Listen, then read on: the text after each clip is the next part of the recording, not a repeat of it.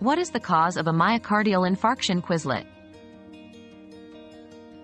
Myocardial infarction or heart attack is caused by a blockage in one or more of the coronary arteries that supply blood to the heart muscle.